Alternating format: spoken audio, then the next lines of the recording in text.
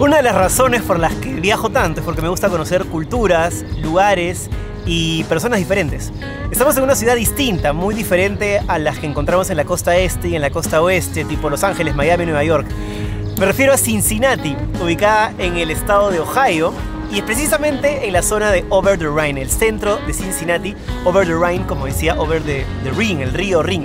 En esta zona vivían muchos alemanes hace unos 150 años, todavía han quedado algunos vestigios, y fue además testigo de la división entre el sur y el norte en la guerra civil por la esclavitud. Tiene mucha cultura, tiene mucha riqueza, y lo más lindo, tiene mucho arte, así que vamos a conocerla en este video. Hazme la lava. Aquí estamos en Finley Market en Cincinnati, que se abrió en 1852. Es el mercado de, que tiene 170 años operando sin interrupción. Es el corazón. 170 años. Para que la gente tenga un contexto, más o menos, ¿qué pasaba en el país hace 170 años? Era literalmente otro Estados Unidos. La guerra civil, pues, entre el sur y el norte, el río Ohio, fue la división entre norte y sur. Kentucky ya sur con esclavitud y el norte los no querían esclavitud. Entonces en- eso fue la bronca, norte y sur, O sea, justo la línea. Este lugar entonces está especialmente ubicado entre una zona de división histórica. Exacto. Libres. Una vez que venían los esclavos acá al norte de Cincinnati ya estaban libres, zonas sin esclavos. En su momento, hace 20, 25 años, este barrio fue casi totalmente abandonado. Los edificios decaídos, quebrados y eso. Y la ciudad ha puesto un montón de eh, impuestos, créditos eh, eh, para la inversión y poco a poco se va renovando y notas que todos los edificios han sido renovados y ahora está floreciendo restaurantes, eh, boutiques de arte, todo está renovado y lleno de vida. Eso. Estamos en el Finley Market. Esto es de 1870. 50 por ahí la cuestión. 1850 me dice mi tío. Eh, es un lugar muy bonito, ¿ah? Tiene esa onda de música en vivo, de lugares donde puedes comprar cositas, vestidos, ropa, cerveza artesanal, comida, helados. Aparte es súper pintoresco. Vamos a conocerlo.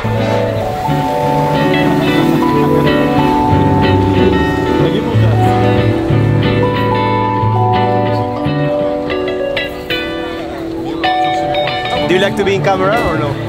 Sure. Why not? Es de Sí.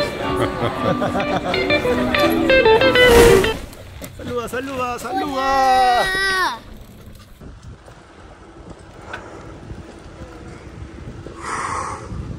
Qué lugarcito este cachorro, ¿ah? Miren dónde estamos, haciendo contenido con mi bestie, con mi dupla, con mi causa, mi yunta, mi mejor amigo, hijito Vicente. Estamos con mi papá. Ahí filmándonos. Está grabando ya su contenido, mi cachorro. Bueno, este lugar se llama Loveland. La verdad, se nota por qué. Bueno, sí, este lugar se llama Loveland. ¿Se, se nota por qué? Mi bloguero preferido. Este, Estoy en bicicleta. Hacer una bicicleta por dos horas, 34 dólares y viene con el cochecito de atrás. Es un lugar realmente lindo, el clima está espectacular. Y Vicente, ¿qué tal todo? bien, ¿Qué tal la comodidad de tu carruaje mientras Bien. tu papá pedalea como un animal? bien. Estoy cansado, amigos. Este circuito, que pensé que era un circuito de vuelta, tiene 90 millas. Entonces, si seguía de frente, por allá, no iba a terminar nunca. Y acá, cachorro, está blogueando. ¿Qué dicen los vlogs? ¿Cuál ha sido tu mensaje para la gente que nos está viendo? Suscríbanse a nuestros canales. ¡Woo! Lo amo. Vamos a enseñarles un poquito de este lugar y cómo es la experiencia de montar bici en plena naturaleza, al lado de un río y con un clima espectacular. Es más, vamos a que lo vean desde arriba. Sube. But we hit the road. Doesn't matter where we go and destination unknown. I don't care where the motor stops. Cause when I want it, then I want it. Yeah, I want it. Oh, I want it. Let's go. Look around, where's the people at? I want a taste of the good life. Hit me with it. Right Cincinnati es una de las tres ciudades más grandes del estado de Ohio. La capital es Columbus, arriba está Cleveland, de donde es LeBron James, y aquí por el sur está Cincinnati limitando con Kentucky. Es una ciudad con muchos vestigios de la colonia alemana que se sentó aquí allá por los años 1800 y monedas, y hace que esto tenga un espíritu europeo pero a la vez norteamericano. Es como la mezcla de distintas ciudades a la vez. Si cierro los ojos podría sentir que estoy en algún parque de Ámsterdam o tal vez en algún lugar de Boston. Es raro, pero es muy lindo. Vamos a conocerla más.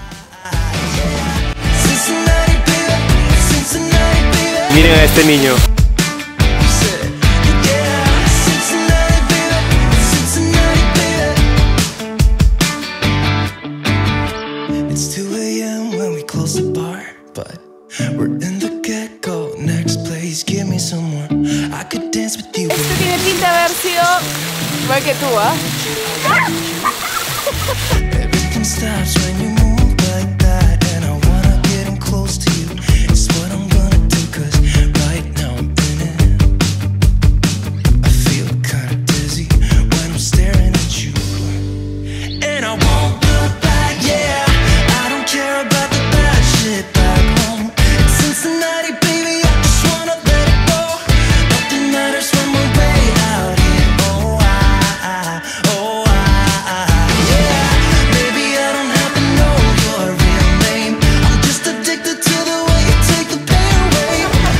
Qué lindo, me he encontrado con dos peruanas hermosas de Chiclayo y un peruano hermoso también. Chiclayano. Chiclayano. Ya, no. ¿Qué hacen por aquí? Cuéntenme. Vivimos 22 años, 23 años ya. 23 años, ¿cómo así llegaron a Cincinnati, Ohio? Yo trabajo enseñando español Ah, sí. ¿En dónde? ¿Universidad o colegio? en un college, ¿Hace cuánto tiempo? 24 años. ¡Wow! ¿Y cómo llegaste aquí? Vine a ver qué había y nos quedamos. ¿Y le gustó? Eh, conocí a mi esposo, me casé y me quedé. Qué lindo. ¿Cómo así llegaron a esta ciudad tan particular, tan bonita también? Muy tranquila. Por mis Hermano, primos, hermana, por mis exacto, primos, siempre. Por mis primos, tengo Ah, primos acá. tiene familia. Sí, pero aquí es tranquilo, uno progresa mucho, hay muchas cosas que hacer. Yo trabajo en una empresa donde cosemos todo lo que la gente inventa. Ah, sí. Sí, cosas de deporte, de Qué niños. chévere. ¿Y qué es lo que más extrañan de Chiclayo? La comida. La El familia. ceviche, La familia, la comida. Yo te debo decir que Sí. todos los peruanos que les pregunto me dicen primero la comida y luego la familia. Lindo conocerlas caminando. manera. ¿Cuál es su nombre? Charo, Charo, yo soy Jesús. Irene. Irene, un placer. ¿Y usted, maestro? Carlos. Carlos. Bueno, un abrazo a toda la gente que nos ve en Chiclayo. Por Saludos. supuesto- A ti también y, y pásalo bien. Gracias. Disfruten, disfruten. Qué gusto. Qué buena onda. Nos vemos. Estos edificios tan bonitos están en un lugar histórico, entonces la ciudad pone crédito para que los mantengas, digamos, de esta manera, pero no puedes cambiar la fachada, no puedes remodelarlos si no sea manteniendo la arquitectura y la idea original con la que se concibieron. Más o menos como en Lima, esas casas que son patrimonio cultural de la humanidad, de la humanidad o de la UNESCO. Coméntame en los comentarios. Esas casas que no se pueden modificar, como en Lima, ¿no? Porque ya tienen más de 100 años o tienen determinado patrimonio cultural, lo mismo pasa aquí. Y creo que es una sana costumbre que se cuiden estos lugares tan lindos para que trasciendan en el tiempo y las pueda conocer mucho más gente. De panqueques. Y ahorita vamos a Me cae la baba. Todos estos grafitis, como le decimos en Perú, tienen autorización, ¿no? Exacto, son financiados, eh, auspiciados por la ciudad, con la comunidad artística y les dan contratos para pintar. Y hay como, no sé, 50 o algo más en el centro, ¿no? por ahí. Ese allá está espectacular. Este, este también es muy bonito. Ese lo hizo alguien probablemente sin autorización Exacto. y este lo hizo alguien por mucho tiempo. Este ladrillo es bien típico de la época de la Guerra Civil, 1850. Algunos van los más antiguos, 1820, que para nosotros es antiguo, no es nada en Perú, ¿no? Perú que tiene 3.000 años y nosotros 200 y wow. How's it going? Living that dream. How are you doing today? Fine, thank you. And you? Doing good. This is a very nice place. Thank you so much. We've been here for about four years now. 40 years. This is a family business. Yes, yes, it is. Wow. And you are the third generation? Uh, yeah, I am. We notice a lot of tourists over the weekends. It's always nice though. You get to hear a lot of stories from places that you don't usually see. Or did you see another third person of Peru? Not really. Are you from Peru? Yeah, Peru. You went from Peru? I, I've never been. You must go. Very nice to meet you, man. It was nice meeting you too. Be safe, okay? ¿Este lugar fue colonia, no colonia, alemana en algún momento o hubo población alemana? ¿Cómo fue eso? Bueno, eh, los alemanes han venido aquí, los inmigrantes han venido acá y esta zona se llama Over the Rhine, que es reflejo de su herencia alemana y esto fue la mayor concentración de cervecerías en todo el país. Fue aquí en Cincinnati, por eso tenemos tanta cerveza. Este era un barrio bohemio hace tiempo. Bohemio, bohemio. Y al bohemio le gusta ver sus, su De chela. sus chelas. Exacto, zona de chelas. Zona de chelas. Qué lindo, en verdad. Si algún día vienen a Ohio, vengan a Cincinnati. Está pegado a la zona de Kentucky. Y la verdad que este Finley Market es hermoso. Súper colorido, súper bonito. Y se respira una onda como de, no sé, relajo. Bohemia es la palabra. Anti-German histeria.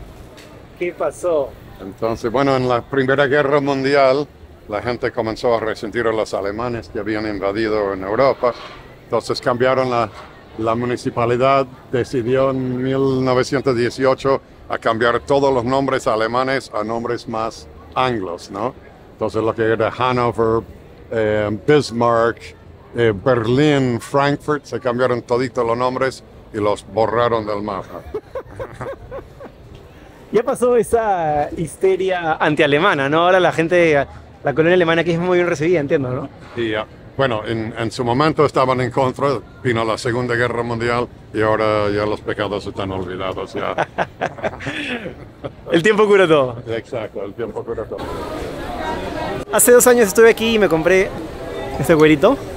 Y me ha traído un bonito recuerdo porque fue un momento complicado. Pandemia, vacunas, COVID. Tuve la suerte de poder traer a mis papás a vacunar aquí. Y me acuerdo que nos compramos cada uno una de estas. Y el día que caminaba por aquí, miraba la muñeca y recordaba este lugar. Ya, la criatura ya está colapsando. ¿Qué pasa? compré esto, ¿te acuerdas? Sí, hace dos años. No existía este ser. No existía esta belleza.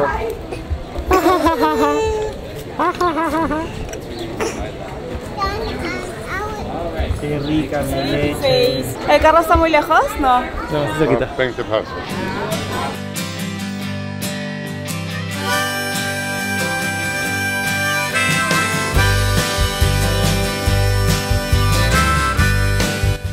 La vida es lo que pasa entre viaje y viaje.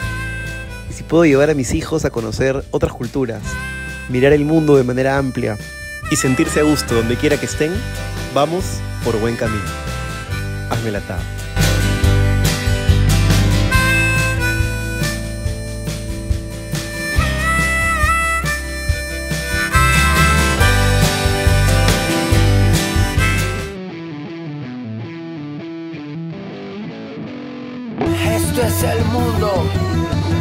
Un montón de calles, cultura. Soy un alien al aterrizar, tantos idiomas que nunca voy a hablar. Dos mil maneras tan distintas de pensar y aquí estoy queriéndome conectar.